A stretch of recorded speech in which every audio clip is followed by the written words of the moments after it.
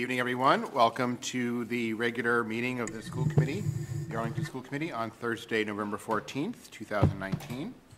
Uh, Welcome Marion Nolan, our AEA rep.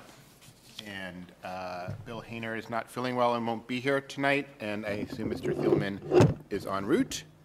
Uh, We're going to open the meeting with new artwork. We have artwork from the Ottoson Middle School tonight. Uh, Each of the three Ottoson display boards are a mixture of artwork made by the seventh and eighth grade artists. The displays include photographs of the three-dimensional work that the Ottoson art students are working on this year, as well as mixed media prints made by the seventh and eighth grade artists. So everything is sort of uh, mixed around, so I'm not going to point to individual boards. Um, The eighth grade students were introduced to the idea that using their art as a way to relay a message to an audience. Students looked at the work of contemporary artists to see the variety of ways that artists show their personal voice through art. Students were challenged to come up with their own message, something that says that they are something that they are passionate about, and create a piece of art that conveys that message. Eighth graders were also challenged to be subtle with their designs as a way to bring the viewer in and make them wonder and think about their piece. For their choice projects, the eighth graders were asked to design a project entirely on their own. The goal was for students to choose a project or idea that appealed to them personally and incorporated materials that they would be excited to work with. Students either made a project from a list of project ideas inspired by heroes, or they made a project entirely of their own design. They were asked to choose a subject based on something that related to them or someone that they look up to as a hero. Students were allowed to choose their materials and whether the project would be two-dimensional or three-dimensional. This term, seventh grade students looked at many different contemporary artists to find inspiration for their master-inspired sculptures. Students were asked to find a painting by a master artist that they connected to in some way and respond to it in the form of sculpture. Students could choose to replicate the composition or some piece of the original art. They could incorporate any element of the original artwork, the colors, the shape, the subject, however they wanted to reflect the original painting. The sculptures are made with cardboard, newspaper, paper mache, found in recycled material, materials, and paint. Seventh graders also experimented with printmaking and mixed media techniques this term. We looked at the work of master printmakers and contemporary artists to see the endless possibilities of the medium. Students were asked to paint to plan their own print, which is inspired by an event in the past or present that, is impli- imp- that has impacted their life either personally or globally. They could also plan a print that is inspired by a topic that they are passionate about. Students experimented with many different printmaking techniques, including monoprinting and block printing. They also experimented with other various mediums to create different layers in their prints. We challenged students to be subtle in their use of imagery and asked them to show their ideas to the audience abstractly or symbolically rather than spelling them out with more obvious narrative representation. Congratulations to all, all of our Ottoson Middle School artists. Do we have any public participation? Nope. All right. So our first item is presentation of the sixth grade contest of vaping calendar win- winners by Carlene Newell. Thank you. Once again, we're very pleased to be here tonight to give you all the calendar. This is probably our sixth or Oh,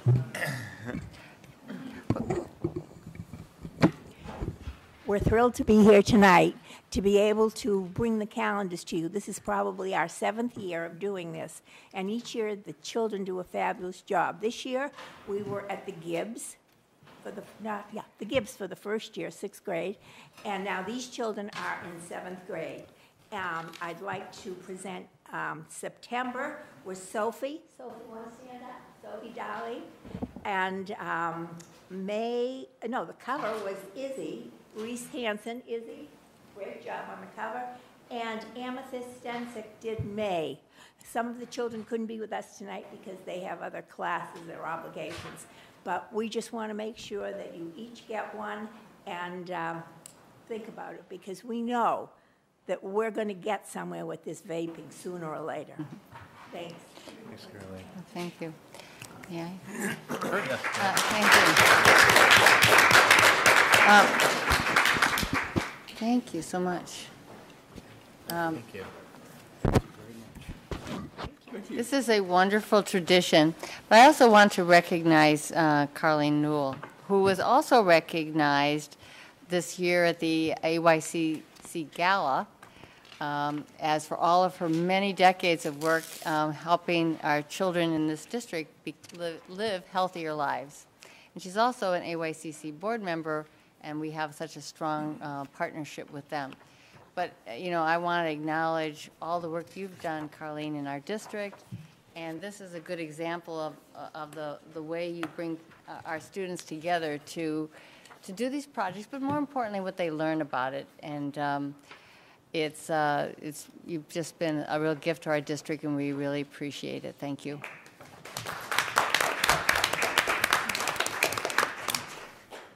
And thank you to the students. This is terrific. Really appreciate it. Yes, thank you to all the students and to Carleen for all your work. All right, our next item is um, Sarah Bird and the Lesley Institute for Trauma Sensitivity course graduates.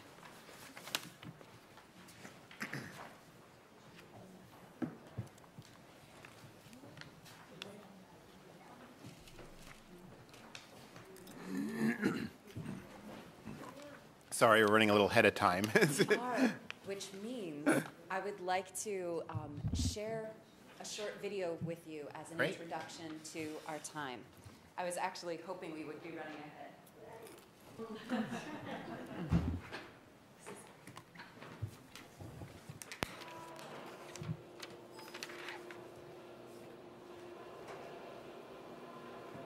This is Jennifer and Kersey.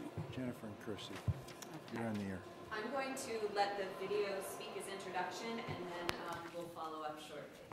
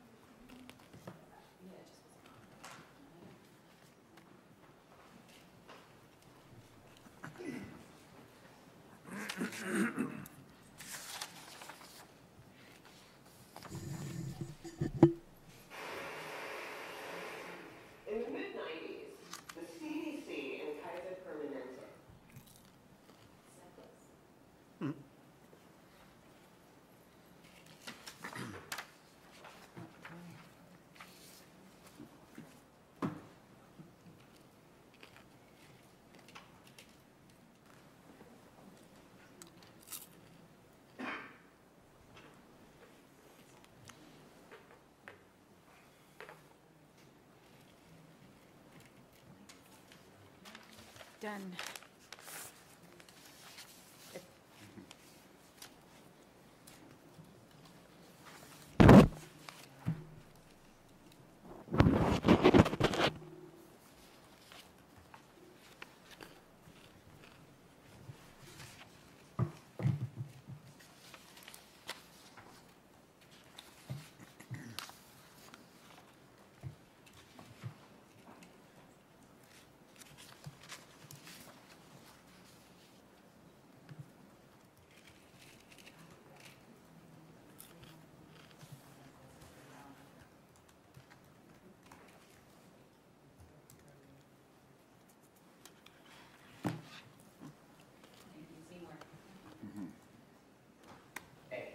Discovered an exposure that dramatically increased the risk for seven out of 10 of the leading causes of death in the United States.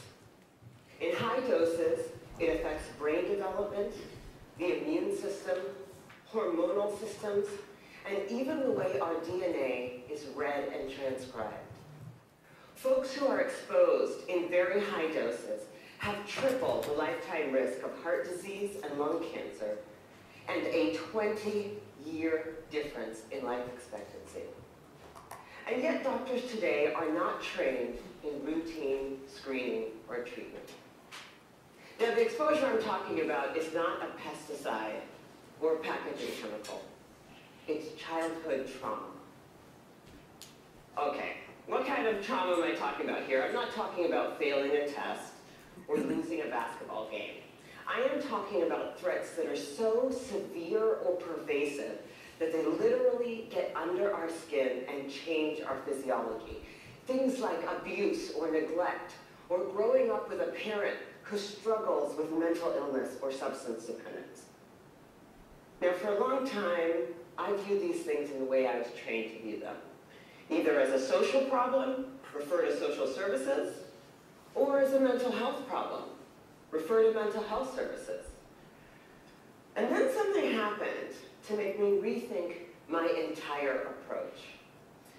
When I finished my residency, I wanted to go someplace where I felt really needed, someplace where I could make a difference.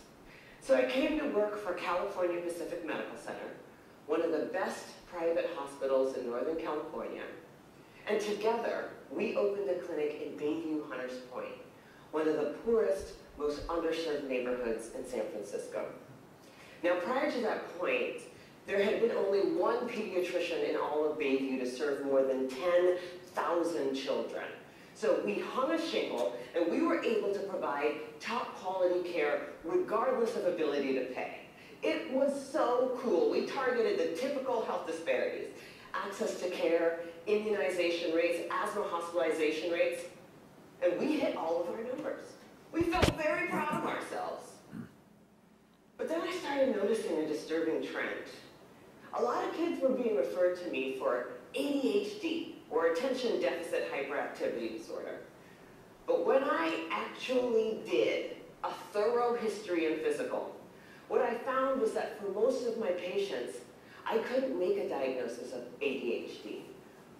Most of the kids I was seeing had experienced such severe trauma that it felt like something else was going on. Somehow, I was missing something important. Now, before I did my residency, I did a master's degree in public health. And one of the things that they teach you in public health school is that if you're a doctor and you see 100 kids that all drink from the same well, and 98 of them develop diarrhea, you can go ahead and write that prescription for dose after dose after dose of antibiotics, or you can walk over and say, what the hell is in this well? So I began reading everything that I could get my hands on about how exposure to adversity affects the developing brains and bodies of children. And then one day, my colleague walked into my office and he said, Dr. Burke, have you seen this? In his hand was a copy of a research study called the Adverse Childhood Experiences Study. That day changed my clinical practice and ultimately my career. The Adverse Childhood Experiences Study is something that everybody needs to know about. It was done by Dr. Vince Felitti at Kaiser and Dr. Bob Anda at the CDC, and together they asked 17 and a half thousand adults about their history of exposure to what they called adverse childhood experiences, or ACEs.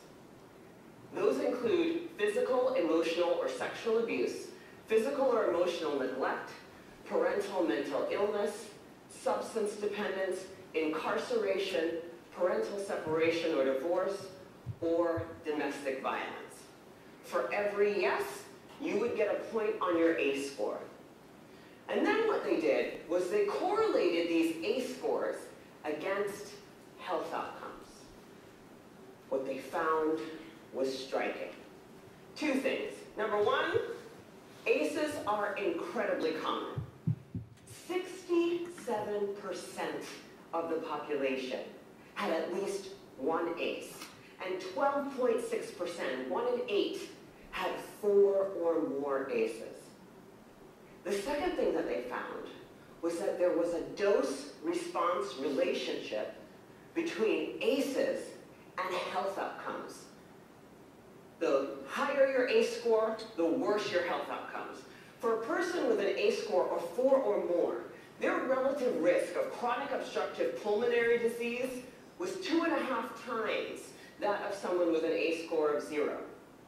For hepatitis, it was also two and a half times. For depression, it was four and a half times. For suicidality, it was 12 times. A person with an ACE score of 7 or more had triple the lifetime risk of lung cancer and three and a half times the risk of ischemic heart disease, the number one killer in the United States of America.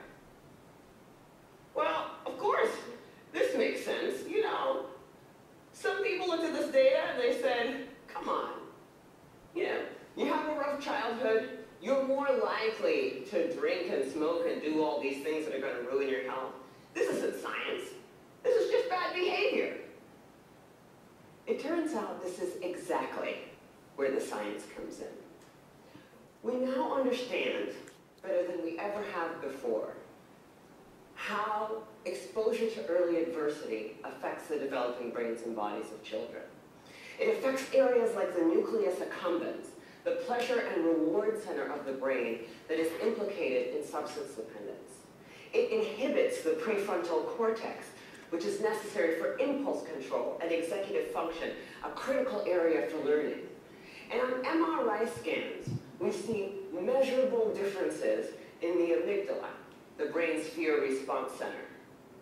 So there are real neurologic reasons why folks exposed to high doses of adversity are more likely to engage in high-risk behavior. And that's important to know. But it turns out that even if you don't engage in any high-risk behavior, you're still more likely to develop heart disease or cancer. The reason for this has to do with the hypothalamic pituitary adrenal axis, the brain's and body's stress response system that governs our fight or flight response. How does it work? Well, imagine you're walking in the forest and you see a bear. Immediately, your hypothalamus sends a signal to your pituitary, which sends a signal to your adrenal gland that says, release stress hormones, adrenaline, cortisol. And so your heart starts to pound, your pupils dilate, your airways open up, and you are ready to either fight that bear or run from the bear. And that is wonderful if you're in a forest and there's a bear. But the problem is what happens when the bear comes home every night. And this system is activated over and over and over again. And it goes from being adaptive or life-saving to maladaptive or health damaging. Children are especially sensitive to this repeated stress activation because their brains and bodies are just developing. High doses of adversity not only affect brain structure and function, they affect the developing immune system, developing hormonal systems, and even the way our DNA is read and transcribed. So for me, this information threw my old training out the window because when we understand the mechanism of a disease, when we know not only which pathways are disrupted, but how, then as doctors, it is our job to use this science for prevention and treatment. That's what we do. So in San Francisco, we created the Center for Youth Wellness to prevent, screen, and heal the impacts of ACEs and toxic stress. We started simply with routine screening of every one of our kids at their regular physical. Because I know that if my patient has an ACE score of four, she's two and a half times as likely to develop hepatitis or COPD. She's four and a half times as likely to become depressed, and she's 12 times as likely to attempt to take her own life as my patient with zero ACEs. I know that when she's in my exam room. For our patients who do screen positive, we have a multidisciplinary treatment team that works to reduce the dose of adversity and treat symptoms using best practices, including home visits, care coordination, mental health care, nutrition, holistic interventions, and yes, medication when necessary. But we also educate parents about the impact of ACEs and toxic stress the same way you would for covering electrical outlets or lead poisoning. And we tailor the care of our asthmatics and our diabetics in a way that recognizes that they may need more aggressive treatment given the changes to their hormonal and immune systems. So the other thing that happens when you understand this science is that you want to shout it from the rooftops. Because this isn't just an issue for kids in Bayview. I figured the minute that everybody else heard about this, it would be routine screening, multidisciplinary treatment teams, and it would be a race to the most effective clinical treatment protocols. Yeah, that did not happen. And that was a huge learning for me. What I had thought of as simply best clinical practice, I now understand to be a movement. In the words of Dr. Robert Block, the former president of the American Academy of Pediatrics, adverse childhood experiences are the single greatest unaddressed public health threat facing our nation today. And for a lot of people, that's a terrifying prospect. The scope and scale of the problem seems so large that it feels overwhelming to think about how we might approach it. But for me, that's actually where the hope lies. Because when we have the right framework, when we recognize this to be a public health crisis, then we can begin to use the right toolkit to come up with solutions. From tobacco to lead poisoning to HIV AIDS, the United States actually has quite a strong track record with addressing public health problems. But replicating those successes with ACEs and toxic stress is going to take determination and commitment. And when I look at what our nation's response has been so far, I wonder, why haven't we taken this more seriously? You know, at first, I thought that we marginalized the issue because it doesn't apply to us, right? That's an issue for those kids in those neighborhoods, which is weird because the data doesn't bear that out. The original ACEs study was done in a population that was 70% Caucasian, 70% college educated.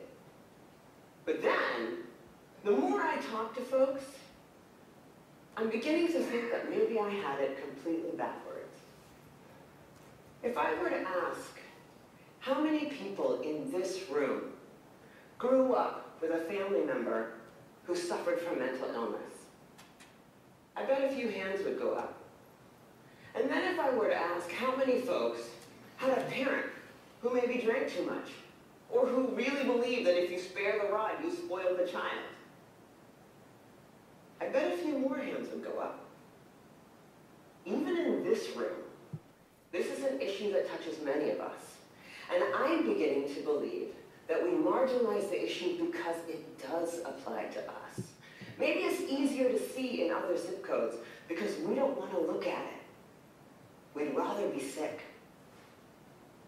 Fortunately, scientific advances and frankly, economic realities make that option less viable every day.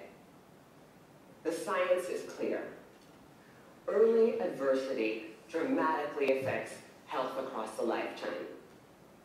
Today, we are beginning to understand how to interrupt the progression from early adversity to disease and early death.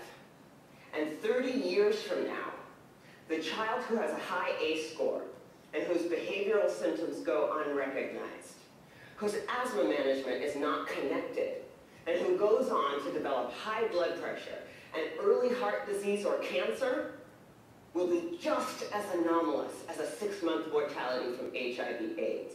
People will look at that situation and say, what the heck happened there? This is treatable.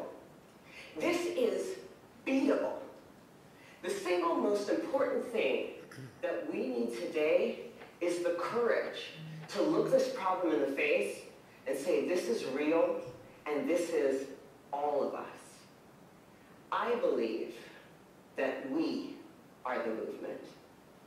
Thank you.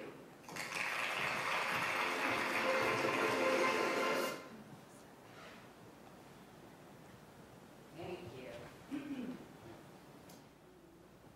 I believe Dr. Burke Harris says it beautifully and helps to explain what we mean when we're talking about trauma. That we're talking about more than 67% of our own population in a mostly Caucasian Arlington, just like the original ACEs data came from.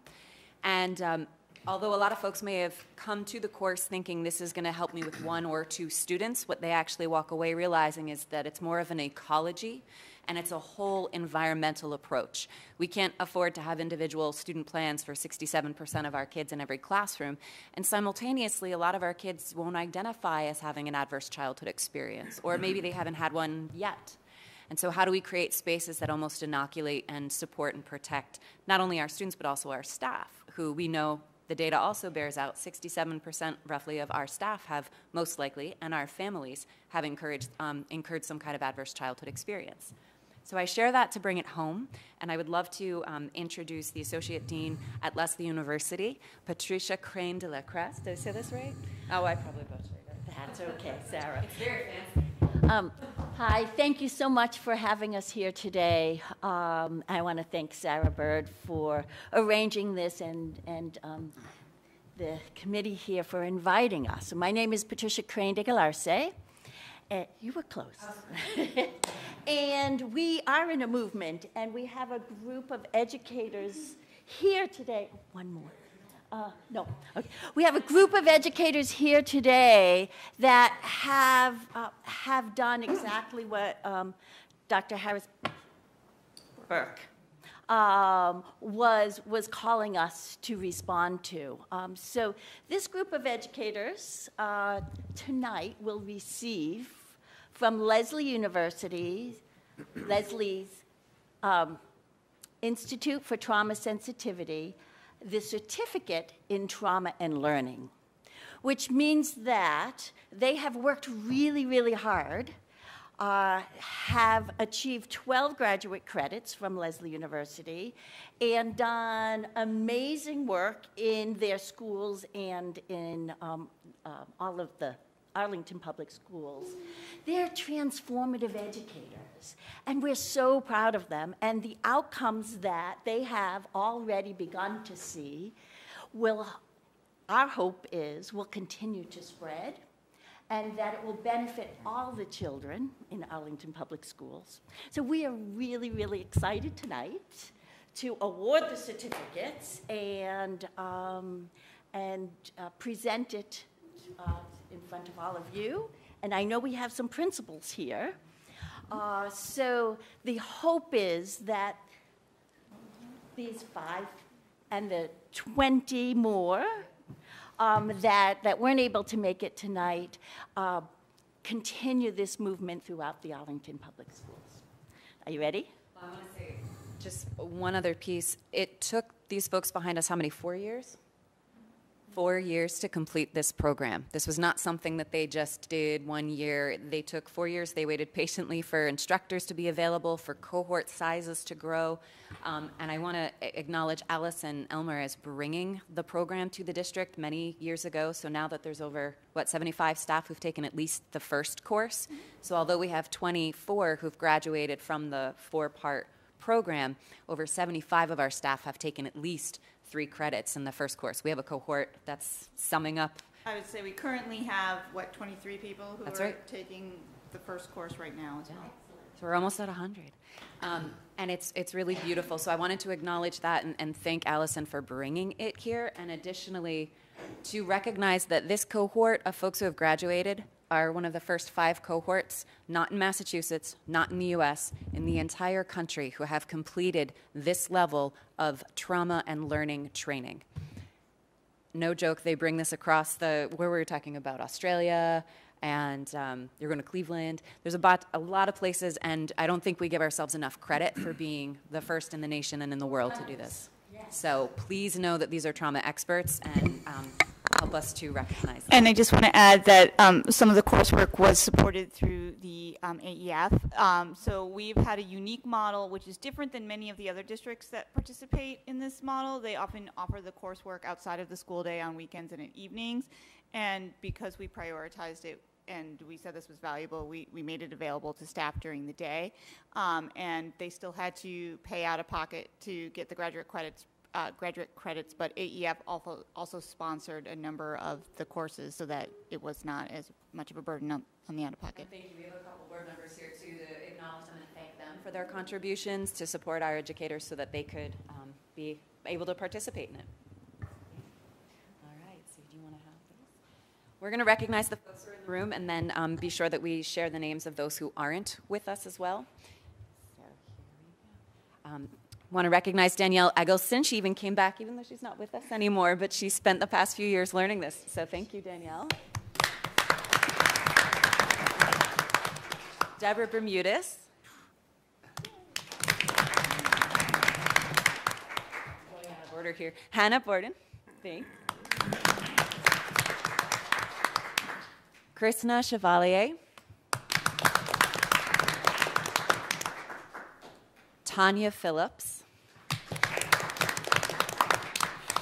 And not present with us in the room, we have Jeffrey Babin, Heidi Bankman, Amy Bell, Jennifer Brenisen, Marian Condon, Jill Connor, bless you, Allison Cox, Liz Farola, Danielle Hurl, Leah Hugh, but I think that's her maiden name, Kelly Hughes, Lori Key, Danielle Ladd, Noelle Oliveira, Nancy Siegel, Lauren Stute, and Natalie Tassoni. I just wanted to add one more thing that um, I think in, in my previous district where we worked, you know, this was largely populated by special educators. But what's been really great here in Arlington is that we have had educators across the um, both general ed and special educators, as well as across the age, uh, the grade levels. So it's been really great to see the work go across the district. And I did, if the committee would be okay with that, I just wanted to open the mic for our graduates to be able to share any thoughts with you. I'm putting them on the spot last minute, but if there's anything that you wanted to share um, with the crew, now is your moment.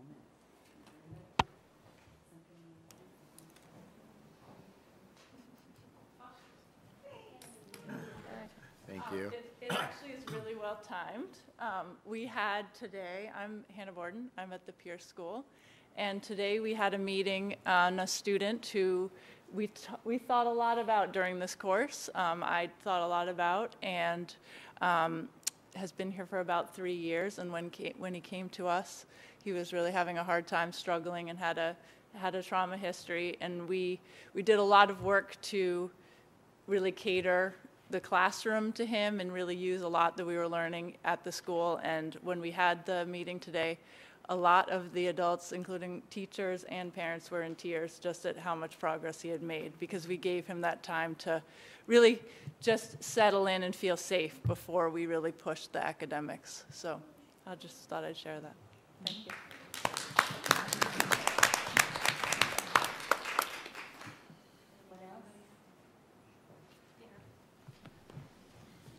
Just one thought. Um, so the story Hannah told was about a student who they knew had a trauma history, but a lot of what we learned in these courses is that there are so many people we don't know. And the, the beauty of this work is that as we try to create trauma sensitive school environments for kids, um, we're able to really sort of reach kids that we might not know they have a trauma history. We might not know where their struggle's coming from. But if we make safe spaces for all of them, then we're sort of preemptively, you know, addressing that. So just wanted to point that out. Great, thank you. So I, um, I've gone back to school to become a social worker, um, which is why I'm not here presently. But a lot of what we learned in this um, 12 credit course is being taught in my current um, field, and I don't think that some of this stuff was taught, you know, for some of the social workers who are um, more experienced. So I think it's great that you know we're able to bring this in, um, and this is cutting edge in the graduate level of social work right now. So thank you. Thank you.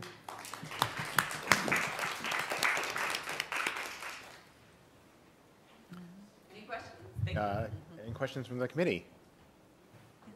No? All right, congratulations to everybody. Thank you all.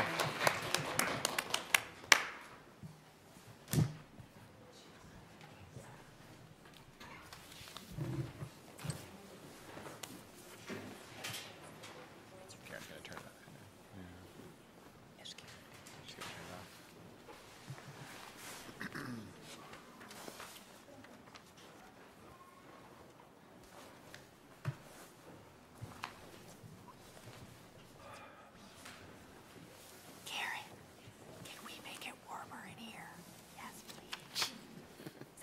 air conditioning on.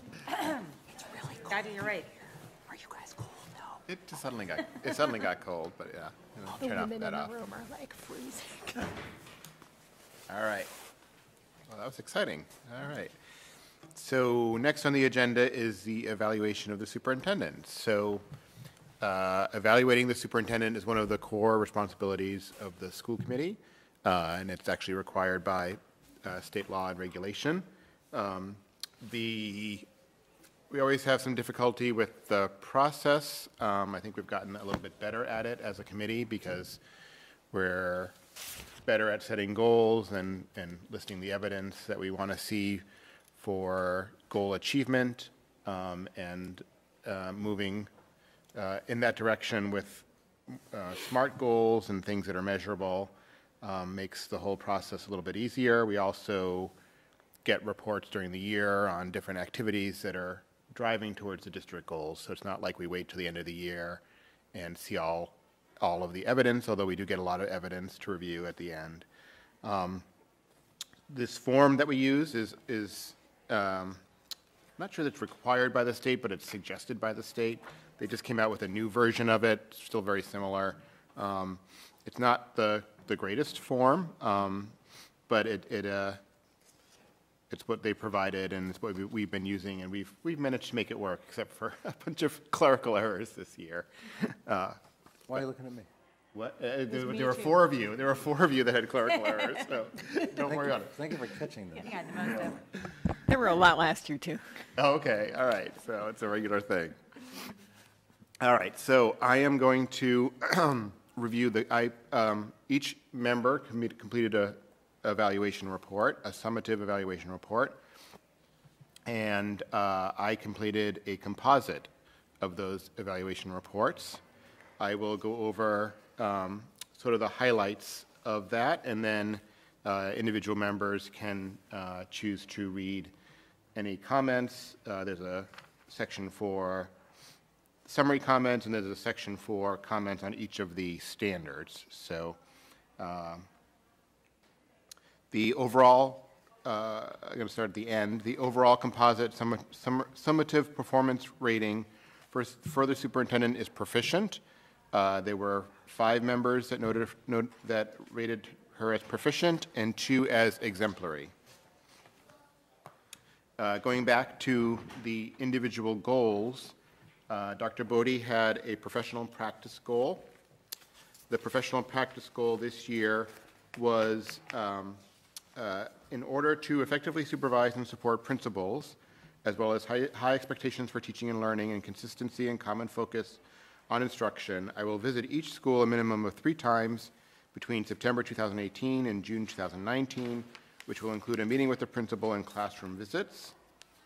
Uh, The committee was a little bit divided on that one. There were two that rated some progress, two significant progress, two met, and one exceeded.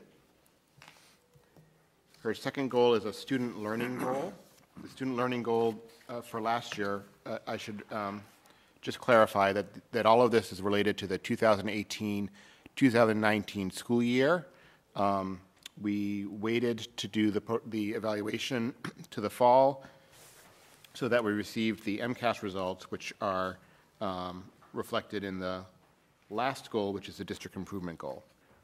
So for her student learning- goal for 2018, 2019, Dr. Bodie's goal was ensure the development and implementation of a preschool to 12 approach to social and emotional learning with an emphasis on cultural responsive, culturally responsive teaching. And on that goal, all seven members uh, said that Dr. Bodie met that goal. And then finally, the district improvement goal, um, that's about resources, infrastructure, and the education environment. Uh, There was not one specific goal selected for that this year, but there were a large variety of district goals that we had adopted previously, and we saw evidence um, on whether those were met. And, on that goal, um, five members said she met the goal, and one said she exceeded. The second part of this evaluation was to assess performance on standards.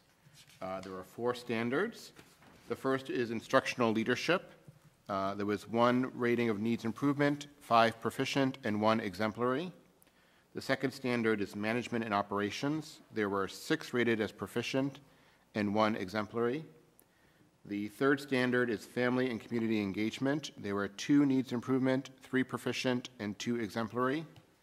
And a standard four, professional culture, there were five proficient and two exemplary. And so once again, um, the overall rating was five proficient and two exemplary. So that completes the review of the composite summative evaluation report. Uh, There is more detail and comments. This report will be filed with our meeting materials um, tomorrow. Uh, And this is the time for individual members who wish to read uh, all or some of their comments. Start with uh, Dr. Allison Ampe. I, I don't need to. Okay. Ms. Seuss? Um, Yeah, I'll read it. Thank you.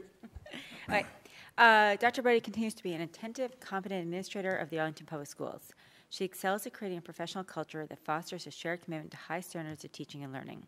The superintendent's servant leadership style works well at APS, given our many devoted and visionary employees, many of whom have been hired under her tenure. I commend the administration for rolling out a thoughtful onboarding and mentoring process for new teachers, as reflected in the new teacher handbook. While this was a multi-year initiative, it's great to see it all coming together. I commend Dr. Bodie for prioritizing frequent contact with staff and administrators as reflected in the log of site visits and individual meetings. A lot can be learned from being in the room and talking face to face with those on the ground. Such outreach gives Dr. Bodie a good understanding of the issues and concerns of our district. I commend the superintendent for continuing to focus attention on the social and emotional needs of our students. This is a really hard problem, but it is a critical one. Students with social and emotional stressors are not in a position to fully learn and grow. I'm excited that we have a safe and, safe and supportive school teams at each school to identify issue solutions. Thank you, AAF. And that we continue to roll out responsive classroom training. I remain worried that having so many different SEL, social and emotional learning approaches to, in the district, responsive classroom, open circle, et cetera, makes it difficult to have a shared language around these issues. I also wonder whether schools that claim to be implementing multiple approaches are really implementing each approach fully. As a final note, the district would benefit by being clear about the language we are using and the distinctions between, for example, cultural competency, social and emotional learning, and mental health first aid. I be- commend the administration for beginning the process of analyzing and mitigating cultural deficits in the district by looking closely at curriculum materials and practices. I'm especially excited by the work that is happening in the history curriculum. The administration, oops, ah, sorry. um, the administration should continue to work out, out a sustainable model for integrating the school-based DIGs, diversity inclusion groups, into these efforts in a way that feels both positive and productive for all around. Uh, this year's community outreach engagement centered almost exclusively on the high school, which is unfortunate because there's a lot of great things going on in the district. The newsletter is effective at showcasing exemplary accomplishments and individual initiatives, but is less effective at communicating larger or multi-year initiatives. Ideally, the district goals would offer this vision. Unfortunately, many of the district goals reflected things that we need to do, for example, accord with state standards, rather than things that we want to do, for example, ensure that all third graders are reading at or exceeding grade level. We need to continue to work that was started with a five-year financial plan to look closely at where we want to end up in the next three to five years and how we want to get there. And I'm, I'm going to stop there. Thank you. Mr. Thielman? Can I, I can read an excerpt, right? Is it- Uh, Yeah, I didn't read all mine. Yes, you can scan it. Okay, good, because, and if I don't, if I say something that's not on there, I get in trouble. No. I Just- think I just do. stick to the script. I think I do, yeah. So having worked closely with Dr. Bodie on many issues during her long and successful ten- tenure as our superintendent, I've witnessed her work ethic, broad and deep expertise in teaching and learning, and her deep commitment to the district. In the past three years, we have served together as chair and vice chair of the AHS Building Committee, and I have continued to see her attention to detail, her ability to descend into the particulars of a complex project, and her commitment to ensuring we build the best school possible for our town. She has played a role in every aspect of the high school project, including cost and design decisions, communication strategy, construction manager selection, and much more.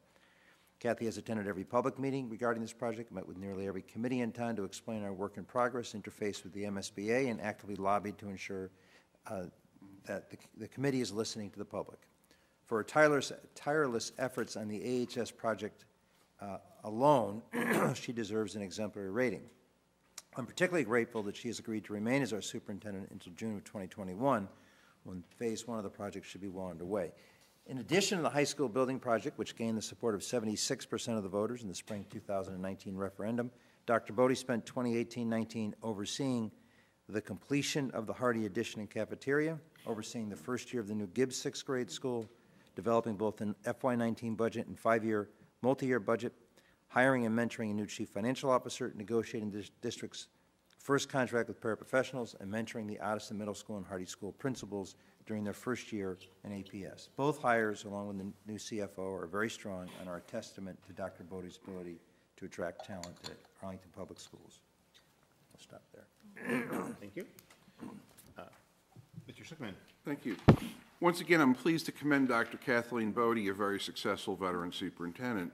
The children of Arlington are fortunate to have her leading their schools as we made two key gains over the past year. The success we had over the past year with successful debt exclusion for the high school and a successful operating override is a testimony to the hard work and partnership with the school committee. Community confidence in our leadership is high as we presented a credible plan, solid support documentation, and a convincing argument for gaining community support for our schools. In my opinion, the most consequential work of the superintendent at this time is planning for the new high school. This is an immense task, and I continue to encourage the superintendent to focus on a project that will define education in Arlington for several decades. Thank you. Ms. Morgan? Pass. All right. Uh, Mr. Hayner said that he did not need his red, and I am also going to pass. So um, reviewing the materials from the state, to, uh, just looking at them today, um, we are supposed to adopt the, the composite summa- summative evaluation report. So can I get a motion to do that, please? So moved. Second. And any discussion? All those in favor? Aye. Yes. Aye. Any opposed or abstentions? It's unanimous. Great. Congratulations. Is there anything? Thank you for your very positive comments, I appreciate it. And I look forward to our continued work together. Mm-hmm. And the high school is certainly a lot of work. It's a- But it's going to be a great high school. In fact, mm-hmm. we'll take a, I have some of the pictures I want to show tonight. Oh, cool. Mm-hmm. Nice. All right, moving right along. Mr. Mason, the end-of-year financial report.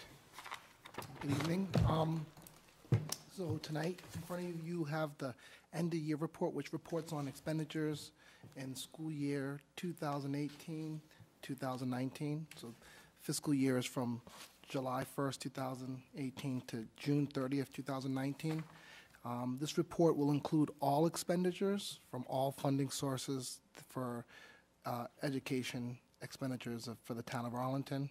So this would include the town appropriation, which is driven by the state and local aid, um, additional uh, expenditures from city, I mean, town services that are provided uh, on behalf of the school department, um, which is reflected under column two, under city-town appropriations. Um, Column three will reflect all federal grants on this report. Uh, State grants is followed by that.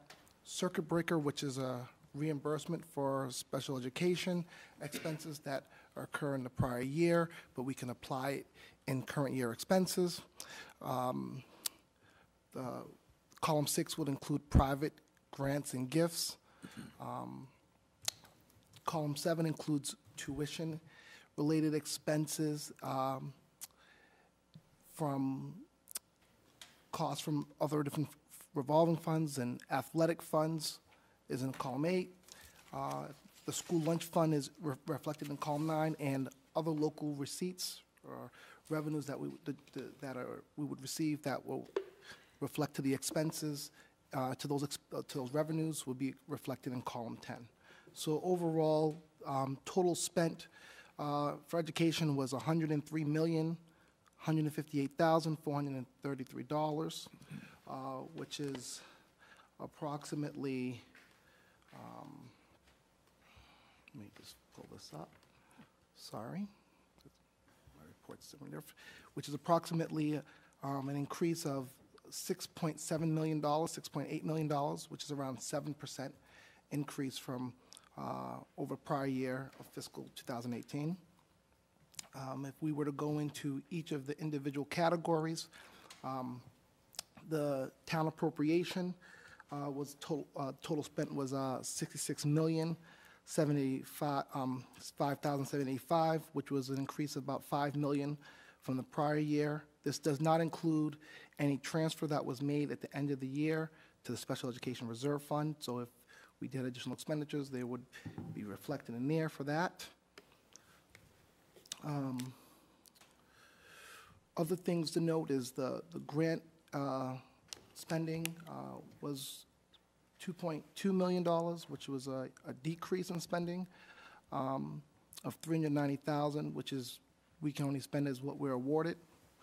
Um, And the revolving funds was a reported expenditure of 8 million, 8.8 million, which is an increase of a half a million dollars. Um, And this would include, uh, once again, Menotomy Preschool, Community Education, School Lunch uh, Fund, uh, and other things that were not in- in- approved by the school committee's uh, budget.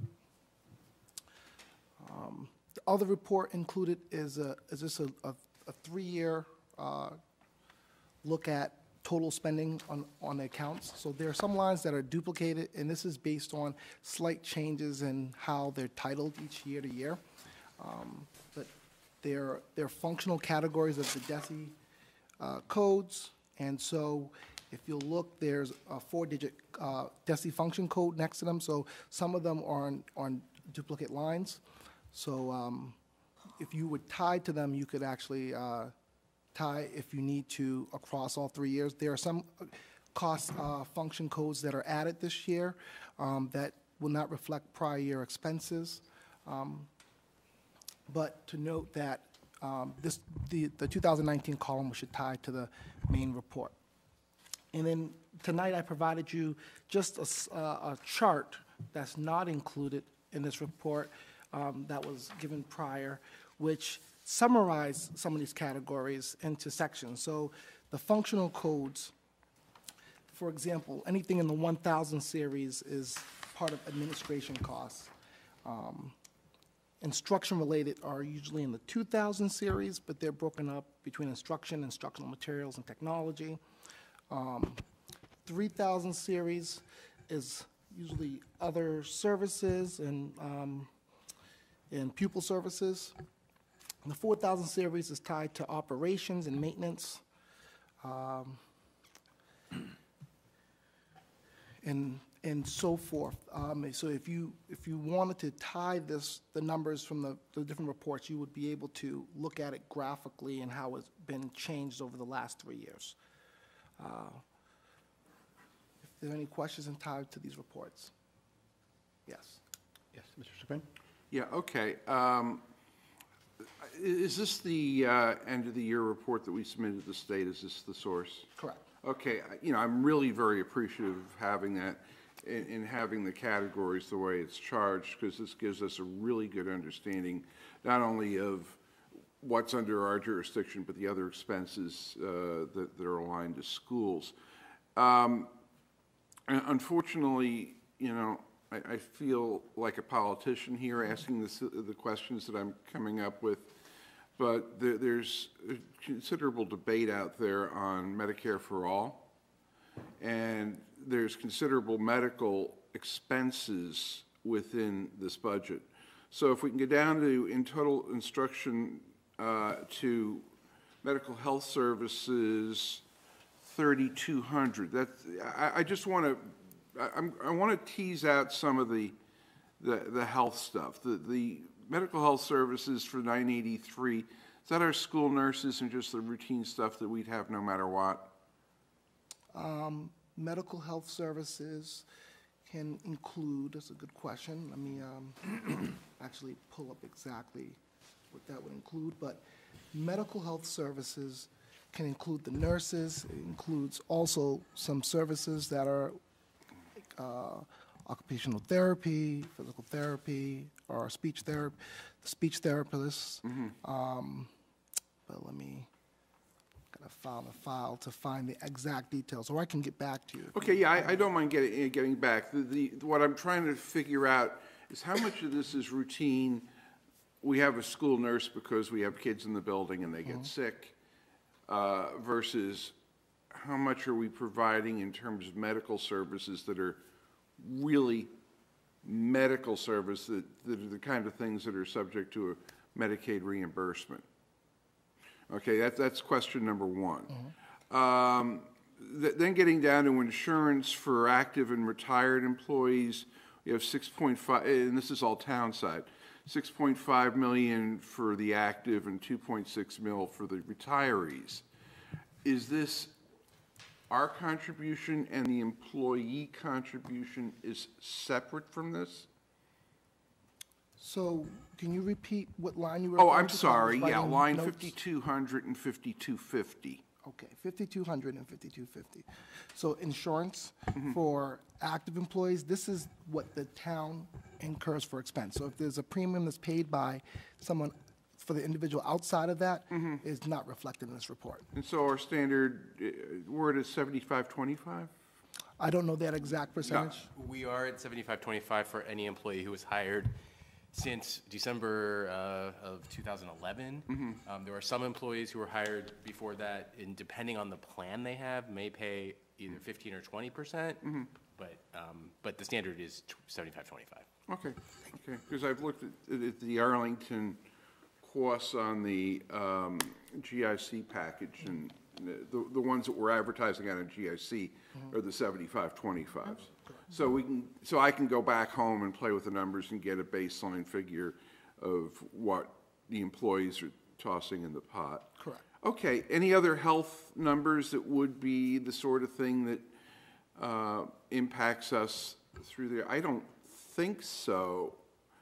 Uh, But, So also on the side of, if you're looking at what's um, not reflected in this report is the, so this is the expenditure side. So this doesn't reflect revenues. So the town does receive revenues on uh, claims that are filed for uh, health services that are provided. Yeah. Um, So, um, you know, we can look at that and provide any information that you would need in regards to that.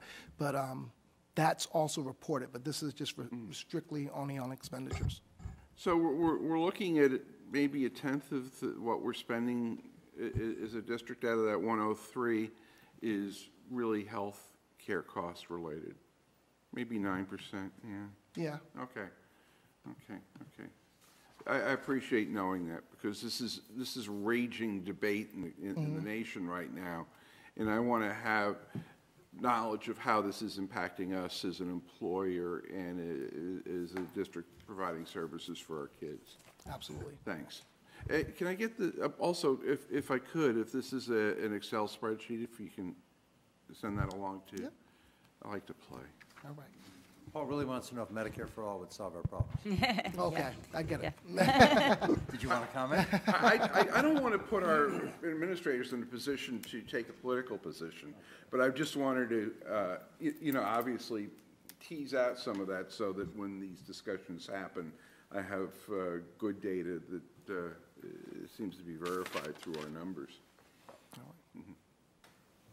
Yes, Ms. Seuss? Uh, So actually, I have a question about the medical stuff, too. Um, So what I remember is that the town gets about 100,000, and I think it's a little more in, from Medicaid reimbursements. But we do the expenditures, but they get the money back, right? Is that, I mean, we have a very good relationship with the town, and I, I know that there's all sorts of cost sharing, but is that right? So if our, our costs were to go up dramatically, it would be on our dime? Let me out. Yeah. So with the Medicare expansion in two- in June of Yep. 2019, they expanded um, what is um, eligible to be claimed Mm-hmm. um, for services and expanded it beyond um, students receiving special education services. But in doing so, they also expanded the responsibilities of the districts in documentation, record keeping, authorization. Um, So we're in a process where we're exploring what that means, because it's, it's literally an insurance billing company. So we're a school, and Right, we're right. not used to insurance billing as Right. far as international medical codes, Yep. things like that. Yep. And so a number of districts across the Commonwealth are looking into what that new responsibility will be. Mm-hmm. Um, It was intended to allow districts to claim more, but I don't think they've um, calculated for the additional accountability and Expense. responsibility to do so. The town um, considers it in their formula for what they give back to us, is my understanding. Um, But yes, we, we do the service, we do the claiming, we do the administration of it, and Yep. the money goes to the town. Right, but if our costs were to double, we don't get any extra money, so, yeah. Right, because it's going to the town. So, yeah, so I just want, yeah. Through the formula. Right, so, I mean, I- and, and the number has been fairly low since, but we just sort of want to keep an eye on that, because if our costs go up dramatically, and, or, you know, we're potentially getting more reimbursement. Yes. Um, And then I have just have a couple questions, which I should know the answer, but I don't. The Okay. Regional school assessment, is that Minuteman? Is, what is that? Is that something else? Yeah, regional school assessment would be Minuteman Minuteman, or, okay, or great. another program that a student in the town would like to take. So Got it. North Essex, North Essex Ag- Agricultural School is be one of them. So we Okay, have a so, few there. so it's interesting. So some of this budget is student services, but the town doesn't think of this as school- APS type of Mhm. money spent, is, you know, Minuteman's usually considered a Yes. town, yeah, okay. Um, The other question, which just sort of jumps at me, is this graph, the other teaching services, the big sort of um, high numbers in 2017 that dropped. Mhm. What, what is that refer? Other teaching, The, uh, this- the gra, on the graph. no, no, no, I, Yeah, I- yeah. I, I'm aware of it. I just, to know the exact, uh, to help you, give you that answer, um, I have to filter it. So sorry, they didn't have that answer for you ready. Um, No problem. I know, we- I know we're supposed to give it to you beforehand. but- No, that's okay. We just got the graph, so. Yeah, the graph you is just got new, the that's graph, true. So that's, that's fair enough that you're That's true. asking these questions. So, um, so that, that reflects, other teaching services, um, would reflect items such as, um, the medical therapeutic services, substitute teachers, Okay. um, non-clerical paraprofessional instructional assistants, librarians and media center, uh, dir- directors. So um, the, the, the cause of that, in 2017, if we were to look um, at that data, um,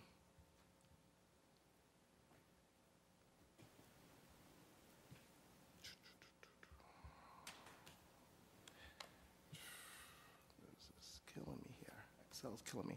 Um, it is tied to. Oh. Teaching services. It seems as though it was reported, you had a high, was we reported, back then, there was a, a, a, a teacher specialist was considered under this category. Okay, so it's a categorization And it was a, thing. ch- a shift and change Got it. of how they're reporting it, so, Okay, there you go. Okay, great. All right, uh, it's got a a couple of questions. First, thank you for doing the multi-year Yeah. um, Oh, yeah. uh, comparison. That's really helpful to see trends. I realize that there are these weird things where categories change. Yeah. We've had three different CFOs over this period, Mhm. plus substitutes. So it's not an exact science as to what costs go into which category, so that, uh, that affects the analysis. But it is helpful to That's why I tried to provide this see some chart. trends over, over time, yeah. So the, the one thing I, I just wanted to ask about was Mm-hmm. the, um, the out-of-district stuff. So uh, tuition in non-public schools, as, you know, I think we, we've heard before, Mhm. went down considerably, almost 10% Mhm. last year, right? The collaborative number just seems a little off in 2018. Did it really jump from 1.4 to 2 million, then back to 1.5, or do we? So. The- unlikely to move around. So we also had a reduction. Uh, I, I would have to look at the actual enrollment and what was decreased. But um, I believe this is tied to the reduction in still in enrollment that we're having students being sent out of district and providing those services in district. Um, So, um, but I, I can get back to you the exact. Okay, figure it out. just, it just odd that it would be relatively 1.4 to 2 to 1.5. so- Mhm. Um, But yes, thank you very much for both the chart and the three-year comparison that, Yep. that we haven't seen before, so very helpful. All right, anything else?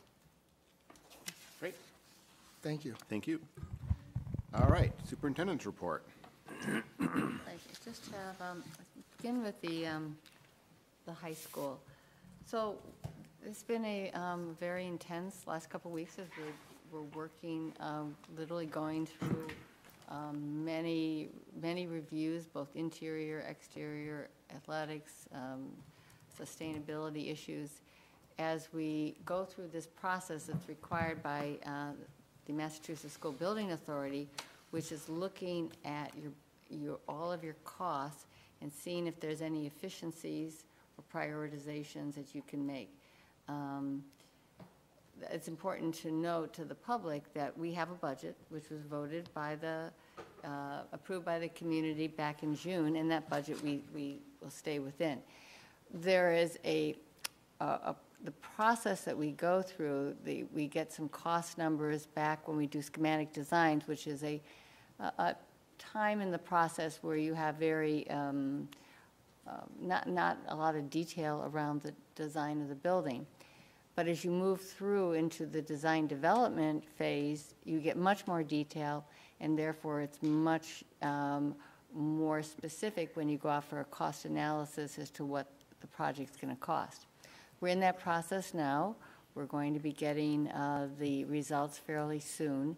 And then the committee, over the next few weeks, um, is going, to- going to look at the cost comparisons and take a look at this work we've been doing that's been required that we do, and um, have to make some adjustments. But usually they're about cost efficiencies uh, that you, you look at in this process. And we can tell you, uh, Tim and I can tell you much more as we actually go through these next couple of weeks. Uh, The building committee meets next Tuesday to begin the process, and we actually have, we've uh, gone through a very um, thoughtful uh, process by how we're going to eventually get to um, a vote that will have to be submitted to the MSBA on December 10th. So, the first meeting, then we, during, from, after the meeting on Tuesday, when the results of the design uh, development costs come in, and we look at it vis-à-vis all the work we've been doing on these subcommittees, then we will continue with subcommittees uh, to do another level of prioritization over the next, you know, less than a week. So there will be a lot of committee meetings then, and then more discussion. more- It's just more discussion until we finally get to the point where we reach some consensus uh, on all of these things. So that's the process we're engaged in, and the committee knows that um, to expect a pretty intense next month as we go through this.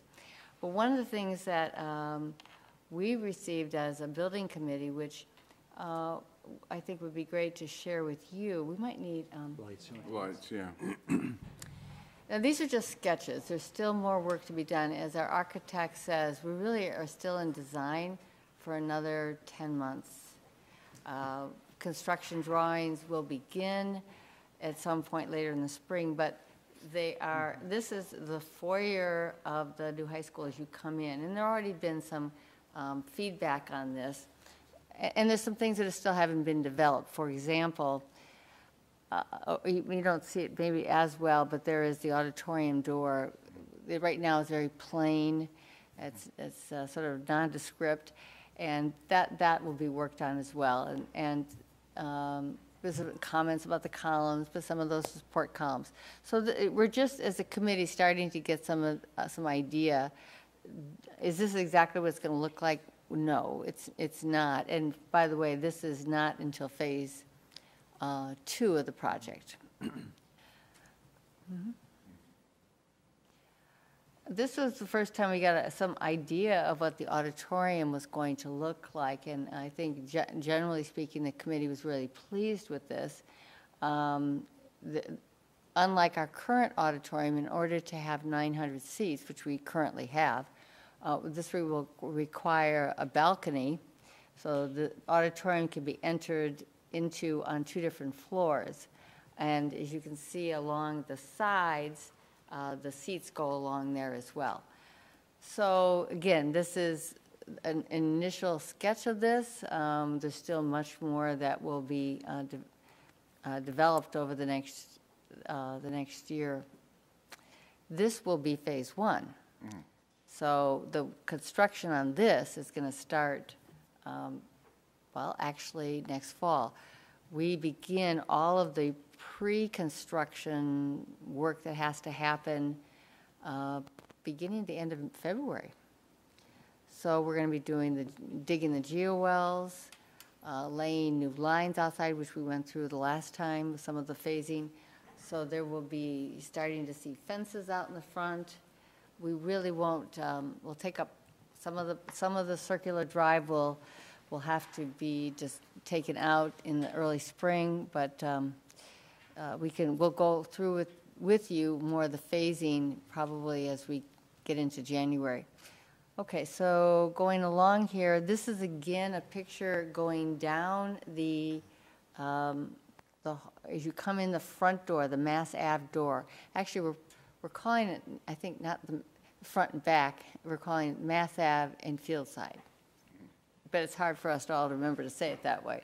So this is the Mass Ave side coming in, and on the left would be the entrance to the uh, Black Box Theater. And then the right is, one of the things we're putting in is a culinary, the culinary program, and there, there, this will um, be used by both the special ed department, the culinary depart, family and consumer science department, but w- this is an opportunity for students to get um, uh, live cafe experience. As you continue down that hall, you're going to come to the, uh, the stairs that will lead down uh, to the cafeteria area, which um, abuts the field side of the building. And they, this, these are called the, the the um, forum stairs. And in fact, when I've gone into a couple of schools recently, this seems to be quite common in many, many schools. The Minuteman, for example, has forum stairs. And here's another view of them. So you have a regular staircase, but in the middle, you get these seats that are, mu- stairs that are much wider where students can, can sit. Yeah, there's an elevator. Yeah, so another interesting um, feature in the school are what we call these light wells. And these are going to be, they're going to go through the entire floors of, the- will go in the the STEM building as well as the humanities building. And um, what that will allow is bringing natural light into the hallways. Uh, They will be, it also positively affects our ratios we have to have for gross and net. So there was a- another positive on this, because otherwise you would have corridors that would be very narrow uh, if if you wanted to put the, you know, the square footage into the classroom. So this really had it, made it open up, and you'll get a lot of natural light. And some of them, is this the one? Yeah, you, they'll have um, like a- perhaps a, a ring of a, a table or chairs, you can, it's a place where you can uh, sit. Um, This is the first look at what the gym is going to be like, and as, as you know, this is going to be 4,000 square feet more than the red gym now. Uh, And when the, the bleachers are pushed back, there will be a walking track around the, the gym so that there can be, you, you can run on it, but you just can't, you, it's called a walking track for the reason you can't use it for competition. And this will give you an idea of what the media center could look like, the Learning Commons. And um, in some of, in some other diagrams you could see, but there's going to be some, uh, like a a folding glass wall out to a corridor so you can have a little bit more quiet space in there. And also this will have an area where you can, again, have a partition so you can create another um, um, area where you can have a class in there. And so that's where we are at the moment. It gives you an idea of where we're, we're moving forward. So there's still a lot of decisions to be made. Um, a lot of design, you know, there, we're going to probably, when we get into the next 10 months, there'll still be some substantial design issues, some just tinkering around the edges. And then, of course, we'll have to get into um, the furniture and color selections and all that kind of stuff. Lighting fixtures, you know, all these things. So anyway, we're, it's moving, it's moving along quite well, and we'll just give you up to date. Ne- It probably won't be at the, just first December meeting, but the second one, we can give you a report on where we are. Okay? Dr. Stampy? I was just going to point out in the forum stairs that um, one feature that Dr. Bodie didn't mention is we're concerned about accessibility. um, And so it'll have an area at the top that is wheelchair accessible. Then there's a lift actually that gets students to the middle and then an area at the bottom. So Mhm. we're working on trying to have it as accessible as possible. That's right. That's right. Thanks for a- adding that. Um, Mrs.? uh, So I asked this question last time, and I can't remember the answer. So um, when is the date that we'll have a sense of the money, the financials coming back to know if we have to make some dramatic cuts? That's what I was talking it's about. pretty soon, That's right? This- happening- This is the December date. No, we're going to get the numbers probably tomorrow. I see. So we, we should know tomorrow. Okay. Okay. We'll, we'll know tomorrow, and then we'll be talking about that at the um, Tuesday meeting, the 19th. Okay.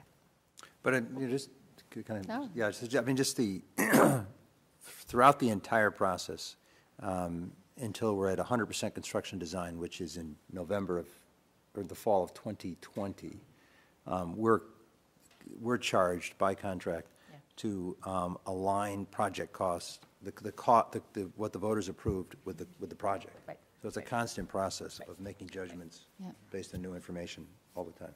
Right, but potentially the big sh- shock, if there's going to be one, is to, is that?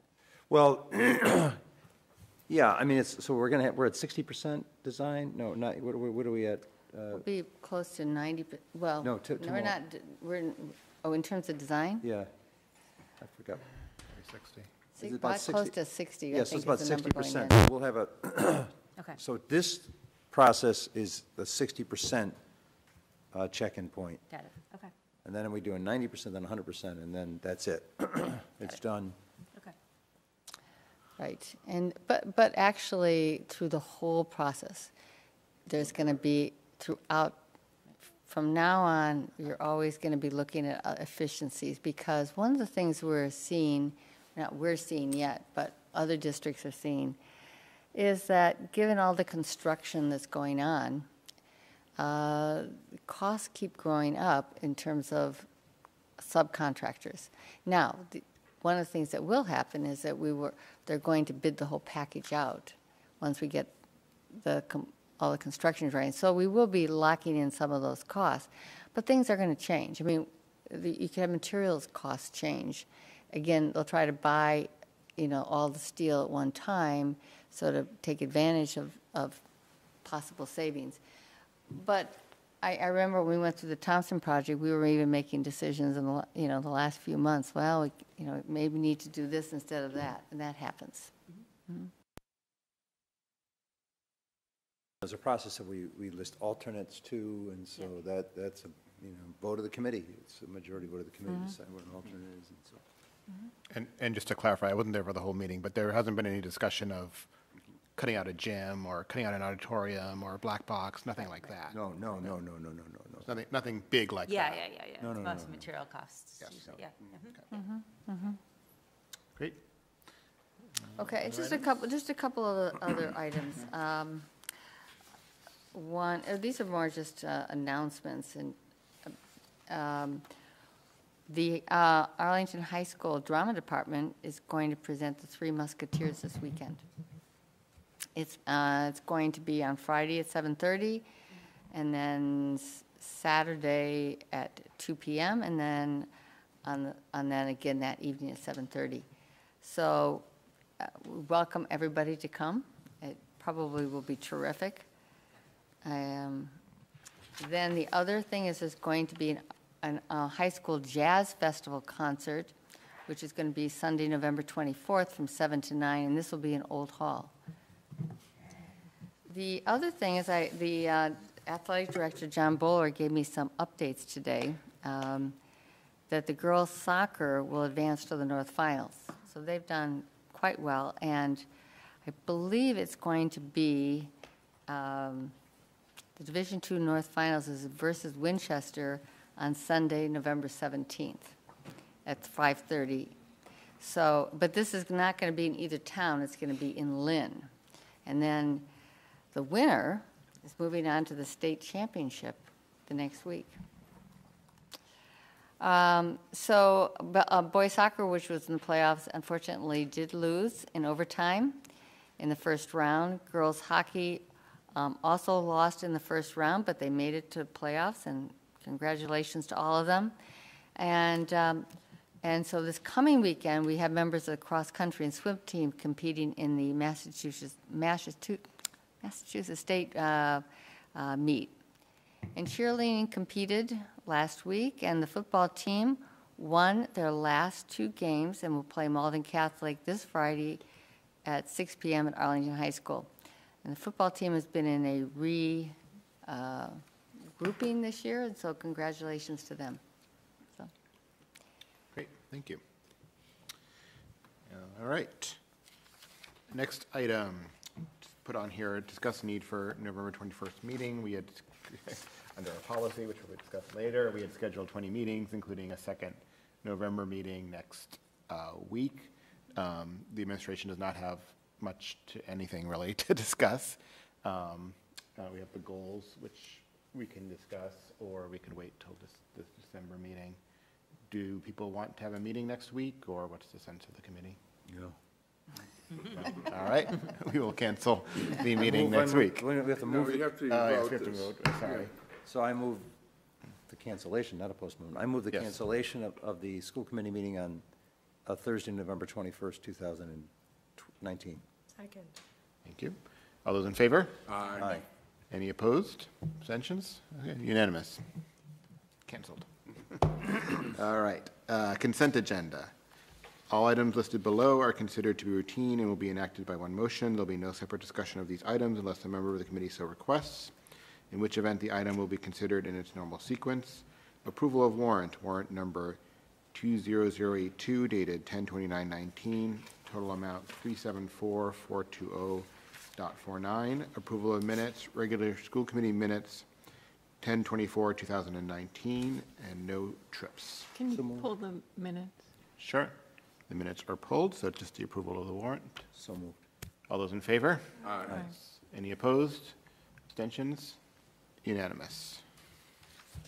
Uh, Was there discussion on the minutes? I just want to abstain.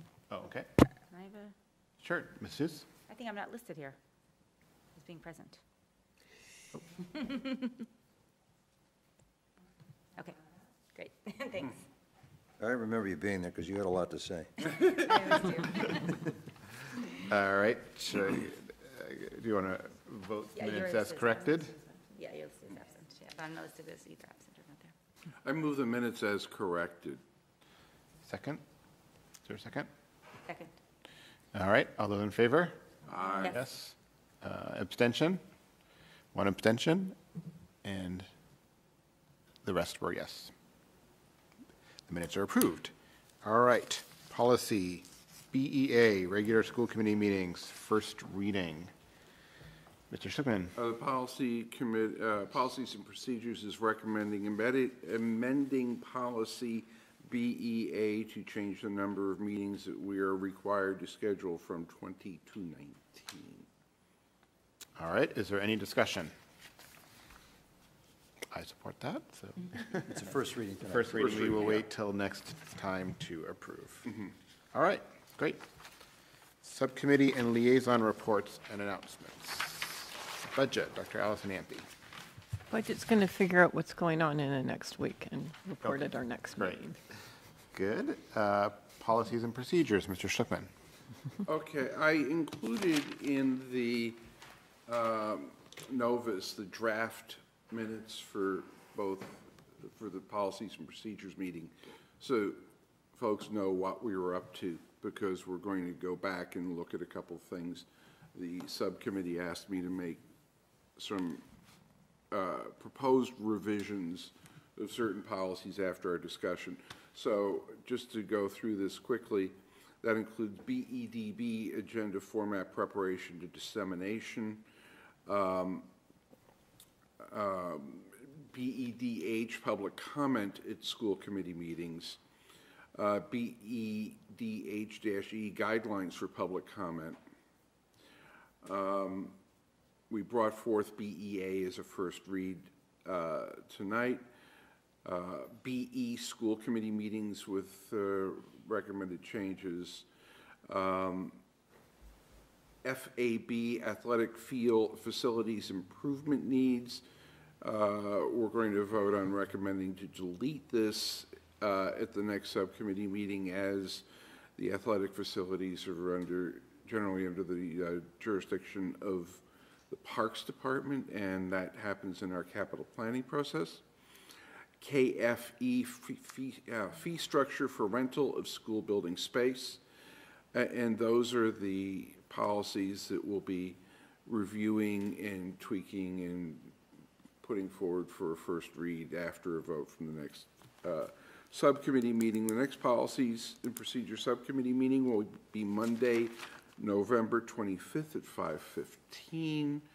Uh, Hopefully, it'll be a short meeting as we'll just hit these and a recommendation coming back from uh, uh, Dr. Susse's subcommittee. And that's our report. All right, great, thank you. Next, curriculum, instruction, assessment, and accountability, Ms. Morgan. Nothing right now. All right, uh, community relations. Uh, Yes, on November 6th, we had a really productive meeting with many of the after-school programs that are are housed in our schools. Um, We sort of clarified what we were looking for from them in terms of uh, policies and schedules that will be on their website and they'll be in common. Um, They all agreed to get things updated fully by Thanksgiving, which is fabulous. Um, I'll present the minutes soon. And we talked about uh, surface place policy, in which I'm going to draft a version of to be sent over to the policy committee. Um, So in clarifying what kind of financial information we want from them as a school committee, what makes sense, what doesn't make sense. And we, I, I asked them a question which I got really interesting responses, which is this fantasy question. If you could have anything you wanted, what would you, you know, you know, to expand your program, like, what would it be? And some of the programs said, you know, nothing you can give me, you know, like, like make it so that m- more people are unemployed and, and work, will work for me, right? But that's not something we can give them, right? But, but there was a few that had some really productive suggestions. So again, I'm going to write up these minutes and send them over, and I just thought it was, it was a really productive, valuable meeting. Yeah. Ask a Reverend question. Nazarian. Sure. Uh, right across the street, there's a daycare center that's opening? Right across the street. Right over On there the by corner. Mhm. There's two of them, actually. kitty- Okay. Kitty corner to us? Uh-huh.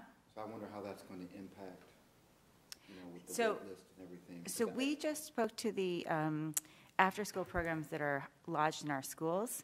There- There have been some discussions with the after-school programs that are not in our schools in terms of, um, s- many of them, but not all, have agreed to sort of follow our, a calendar so that after the in-district programs give their responses, then they, they give their responses to parents. So we've had productive conversations with them, but we consider ourselves sort of we don't control them as much, right? They're not in our schools, they're not, you know, paid by our, they're like, they're just in Arlington, right? So I assume, is that a similar program, it's a private program? Mm-hmm. Yeah. I think it's a private. Yeah, they're Yeah. nursery, they're So nursery schools, they won't be they're- helpful. Oh, they're a nursery school. Yeah, Oh, they then, then we definitely aren't talking to them. So we are, but we are talking productively to the after-school programs that are private, that are not in our schools, to have a conversation to see if there's anything That's what, I was- yeah. yeah, so, but those are all sort of, yeah, kindergarten up type of thing, yeah. Great, thank you. Uh, Facilities bill is not here, did not, I did not get a report. Um, There's nothing for legal services. We already talked about the building committee, uh, calendar committee. Ms. Uh, Yes, we s- met today. Yep. Um, And um, a lot of discussion about um, how to solicit information from teachers, which is not something, you know, something that the teachers in the room had a lot more to say about than I did. Um, But, uh, but then there needs to be a par, we didn't have as much discussion about the parallel process with um, the community, but we are looking to bring in a facilitator who can, who can do that work a lot better than any one of us. Tentative date for the community forum is December 11th. And I would like to bring to the school committee um, information about what we've gathered so far by December 19th, with a caveat that there may be some schools who haven't had time to get sufficient information from their staff by that date.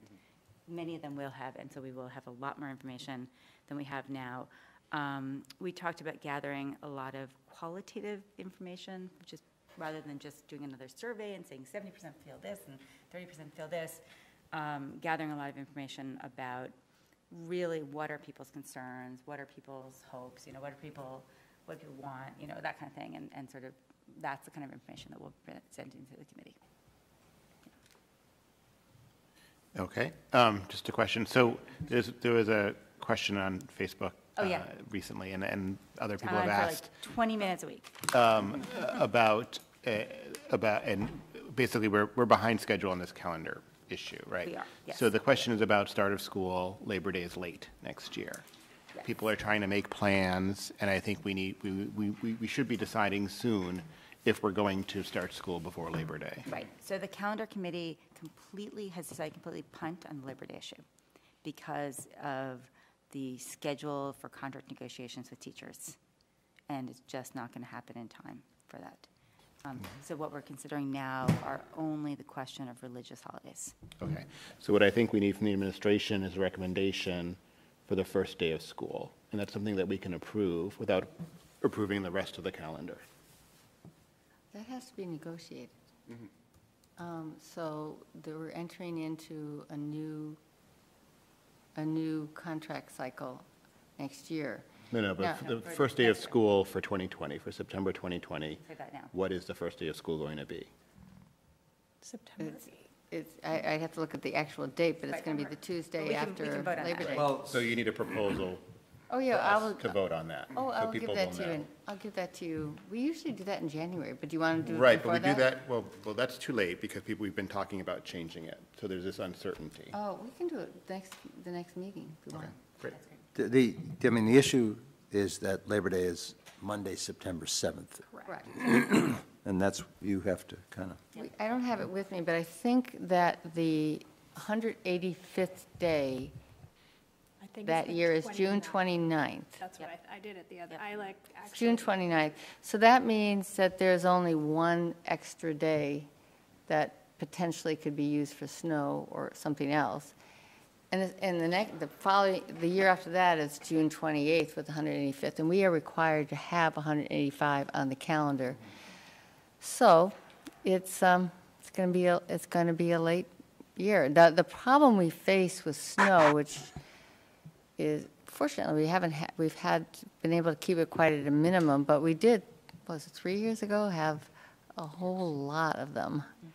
Uh, it was just like one storm after another on a Monday, it seemed like. But at any rate, um, we'll have to just wait and see what happens with that. I mean, we, we have to have Yeah, the- the 180 rest- days, yeah. period. So the, the, So we're not the gonna rest of the the problem calendar, now. We're not going to solve it. yeah, the rest of We're the not gonna calendar solve is it. still up in the air, but the starting date, the rest of the calendar is still up in the air until this committee does its thing. Correct. But the starting date, we should be able to set. Okay. Uh, Dr. Allison Ampe? Um, I'm just looking at our calendar, and so we just got rid of the 11:21 meeting, which means we won't meet again until December 12th. Uh, Do we need, I mean, should we put back the 11:21 meeting if people need this date, like now? You know, it is, is the, it's a lot of weeks in between one, No, I mean, I two, think, yeah. three, three I mean, I weeks. think we're pretty clear that the, the start of school is going to be September 8th, Yeah. Yeah. and we just need the formal vote. Okay. Yeah. Mm-hmm. Mr. Schlichtman? I was just wondering if there's been any informal conversation with the AEA about the fact that the start is very late this year, and if they'd be willing to impact bargain that one item? We have had informal discussions about that. I, I. So you'd be recommending the September 8th start based on, Well, where we are right now, yes. yeah. I mean, if you have one more conversation with them and they seem open to it, that's one thing. If not, you know, bring forth the September 8th date, and I guess we have to live with it. What, it's a, it's a ne- year of negotiations. We Mhm. begin negotiations probably in, maybe even in the spring as we look at some areas where we might need more time to talk and think about things. But um, we will be in, a- in negotiations. You know, we're, we're actually meeting tomorrow. We have every other, every few weeks, we have um, meetings with AEA leadership. Um, We can certainly talk about this. We've talked about it a couple of times, but we can certainly talk about it tomorrow again. I mean, there's no reason why we can't move that outside the cycle if they are agreeable to it. I- i- Is, a- is an agreement outside the contract Mhm. for adoption next year. Uh, But uh, if they're not willing to go in that direction, there's no point pushing it. I'll bring it up tomorrow. Okay.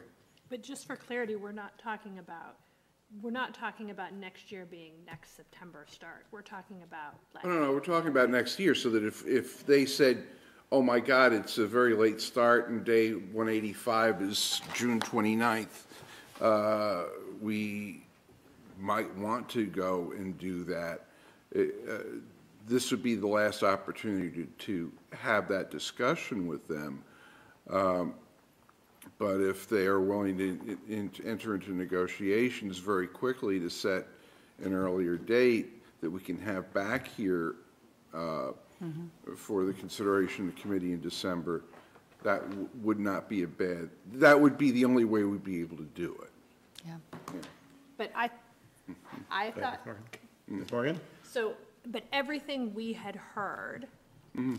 clearly, explicitly, around this table Mhm. for a long time, coming from the calendar committee that has been charged with dealing with this calendar, has been, we are not going to change to a pre-Labor Day start for the fall of 2020.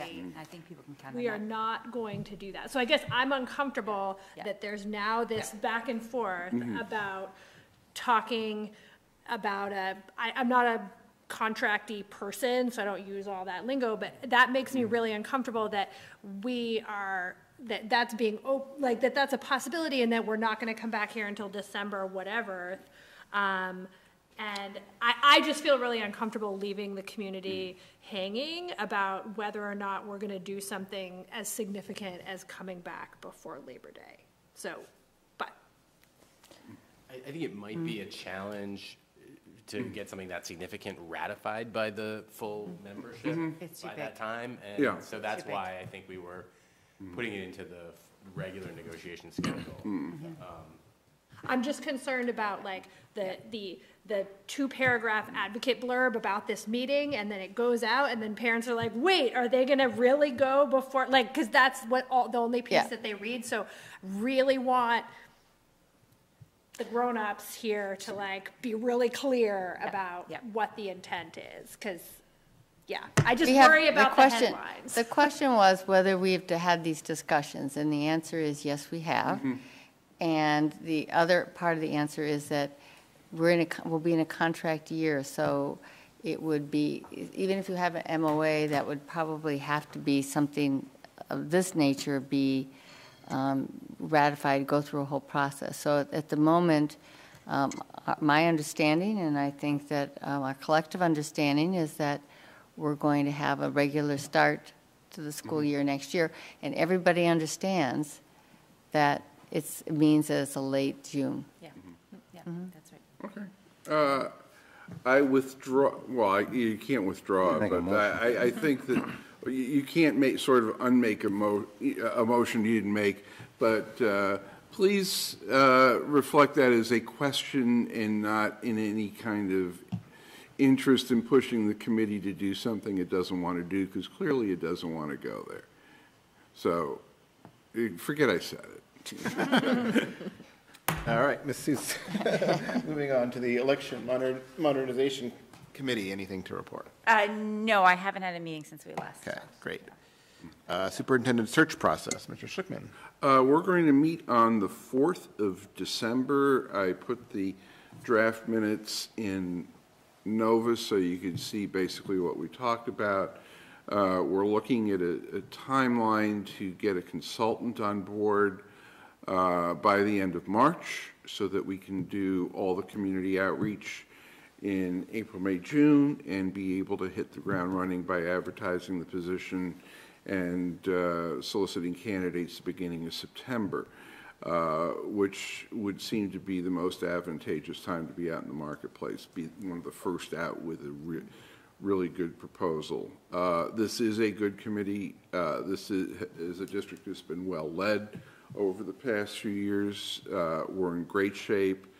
Uh, We should be able to attract magnificent candidates that are worthy of the task of replacing Dr. Bodie. Great, thank you. Uh, So we have not done anything on AEA negotiations. Are there any liaison reports or announcements? Uh, Ms. Susse? Uh, So uh, I forgot to mention last time that we had this meeting on the 17th with the Rainbow uh, Coalition, and it was a very productive meeting. Um, uh, Some members of the coalition, actually, some, a bunch of members from the community talking about LGBTQIA+ plus issues, and um, lots and lots of positive reports about the district, about um, parents who are in that community walking into classrooms, feeling welcome, seeing signs, triangles, you know, really welcoming signs. Um, you know, a few discussions of, uh, you know, a teacher here and there who maybe just didn't understand something, or you know, so there. But but generally, it was a very positive um, discussion, and what they want to come back to us with is, uh, to the superintendent with, is some suggested resources of things we can put in our libraries, things that we can make available to schools, and so they're going to work on that um, Mhm. and hopefully come back to us. So, okay, come back to the superintendent. So that it was just a great meeting. Um, second thing, and this is something that is big, um, I attended the wellness meeting um, and the 20 on the 31st of October. Uh, very interesting, lots and lots of stuff that was being reported. Um, big discussion about what's happening at the Great Body Shop, which is now being shifted over to being taught by um, nurses Mhm. uh, because of the new schedule. It also means that it's being taught more than it used to be because it often got sort of pushed to the side as other, you know, needs of the teachers, were, um, you know, educational, instructional needs um, would sort of crowd it out. Um, so there's a real place for it. So it's, it's an interesting change in the district. Uh, But the thing they wanted me to bring to the committee is a very casual discussion right now about whether we should offer condoms in the high school. Casually, you want to have that right now? Casually, it was, there's no specific plan. Apparently, it was mentioned 20 years ago, and one school committee member said, over my dead body, and so it sort of got dropped. Um, And so, but, but, but, so there's just sort of the nascent discussion about whether that might make sense for our district, and how that would look, and what kind of, you know, like, big instructional thing you'd put with it, saying, by the way, here's the healthy things you should be doing. but um, but anyway, so so just wanted to, to throw this out, just, and I can go back to them if there's any uh, beginning thoughts right now about. your- what you think. Is it a policy, que- is it a policy vote we take, or how does it work? Can I? Sure. So, you know, just at the last school committee meeting, we had the youth health. Mhm. Yep, uh, and right, and then one of the report. problems was that. So I think that we have some data unprotected sex. points there that you can use to, as a foundation for your discussions. I just want to make sure we Yeah, refer back that, to that was right. That, that was one thing. There was an increase in number of students who were having unprotected sex. And so there was a concern about that. And in Right. general, they're finding in the, in Massachusetts, there's an increase in sexually transmitted diseases across Massachusetts Mhm. right now. So there's just a concern about it. So we have some data from the, Mhm. straight from the students that we can use. Right, And right. I just want to make sure that we always go back to that source. Right. I'm all for it personally, but, um, I- you know, do we take a vote on the, I mean, how does this work? Yes, I mean, I'll have to look, I'll have to look at the, I don't think that We're there not taking a is an vote. It's a applicable nascent- policy. it's not a pol- Yeah, yeah, no. it's just that- So I don't, but I don't think it's a school committee issue. So if there's no Okay. policy that forbids it or requires it, Yep. then the question is, do we need a policy that requires it, or do we just let the administration decide um, what to do? I told them I'd come back with any strong feelings either way from the committee, so I was just All in favor? Dr. Allison Ampe? Shouldn't, I feel like this should, okay, first, I'm personally, I think it's a good idea, but I feel like it should be referred to the administrators of the schools. Yeah, that- Yeah, We we shouldn't Well, be. because, because there's been, yeah, yeah, yeah. Um, yeah. Yeah. Mm-hmm. So they weren't With- coming, I mean, it's nascent and there's no pol- proposal out there, but I just, they wanted me to bring it to you. Okay. Yeah, yeah, I think like anything else, like many other questions and and requests we get, the first step is the administration. Yep. Uh, if the administration believes that it's something that it should become just for the school committee, then they can bring it to us. Great, okay.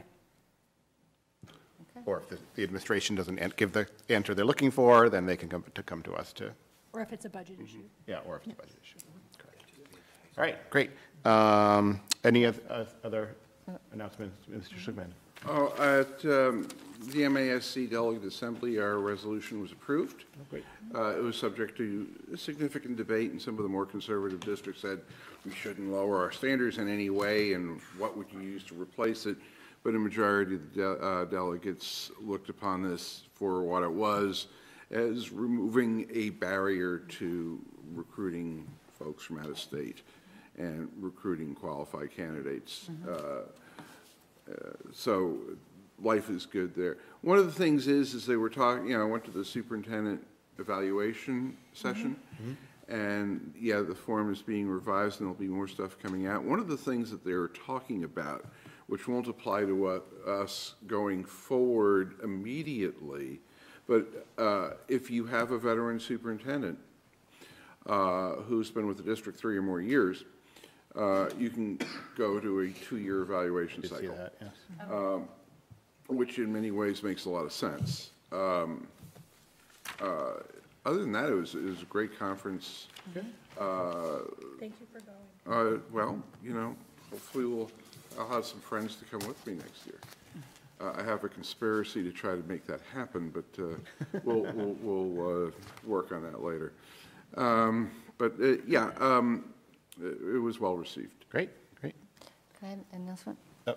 I forgot, the AEF uh, annual fundraiser. Yeah, I'm going to do that, actually. Oh, you're gonna do do that? You Yes, I do have it. a written announcement. Okay. So on, on November 25th, the Arlington Education Foundation will host its annual showcase and fall fundraiser, a celebration of the transformative teaching and learning in the Arlington Public Schools. The festive e- evening will highlight how AEF helps to innovate, educate, and empower teachers and students. Join the AEF board from 6 to 8 p.m. at Tryst for an evening of guest speakers, grant project demonstrations, food and cash bar. This year's guest speakers will be Matt Coleman, Director of Mathematics, Terry Dash, the OMS computer science teacher, and Sam Hoyo, the Director of Science. Any What's other- the date again? Uh, The 25th, uh, Monday, this coming Monday. Did you, s- Oh, yeah. did you say where it was? I didn't. Tryst. Okay. Yes. Um, Any other announcements? uh, Did Yes. you guys all get the notice from Ted Paluso? No? Okay. Yes. Okay. Yes. That we were ranked uh, 346 of the, of top STEM schools. So this is a STEM thing, so I thought that was helpful. Um, of- In the nation. In the nation, of about 5,000, right. Yeah, top 7% of the country. That's great. And, and there's 33 in that group, so 10, it sounds like 10, oh no, it wasn't quite that many. But there were 33 um, districts in the, in the state. In the state. In the state of Massachusetts. But we did well, relatively speaking. All right. Anything else? All right. So now we have executive session to conduct strategy sessions in preparation of negotiations with union and or non-union personnel or contract negotiations with union and or non-union personnel, which if held in an open meeting may have a detrimental effect to conduct strategy with respect to collective bargaining or litigation, in which held if an open meeting may have a detrimental effect. Collective bargaining may also be conducted. Uh, In this case, it's to discuss the school traffic supervisor's current agreement. Can I get a motion for executive session? So Uh, And, and we- yes, no, no, we will adjourn it, I mean, from executive session, yes. Exit only to adjourn, sorry. Okay. Mm-hmm. Motion? So moved? Second? Second. Yes. Yes. Yes. Yes. Yes. All right.